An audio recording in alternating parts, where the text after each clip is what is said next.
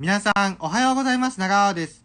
今回は、沖縄県沖縄市にあります、コザミュージックタウン音楽広場で行いました、エイサーナイト2023沖縄市ソンダ青年会のエイサー M の様子を撮影しました。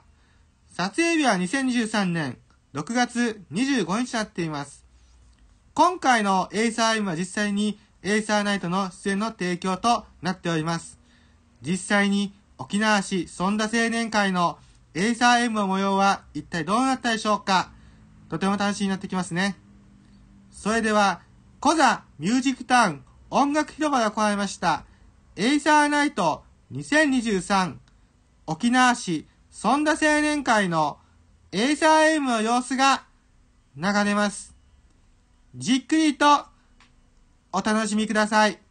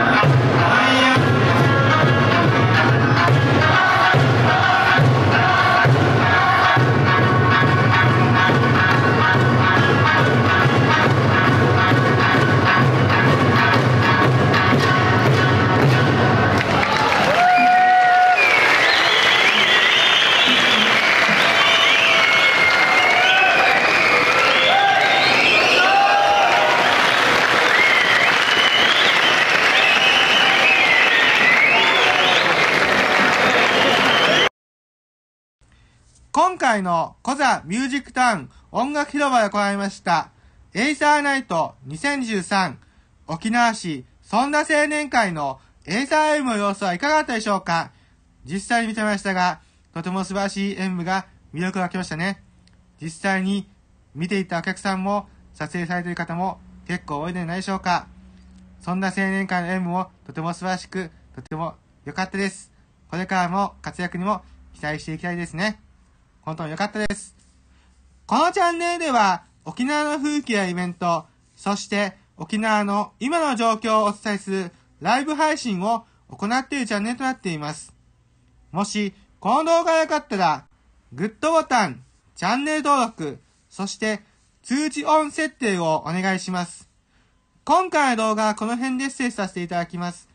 ご視聴いただき、誠にありがとうございました。それでは、失礼いたします。ありがとうございました。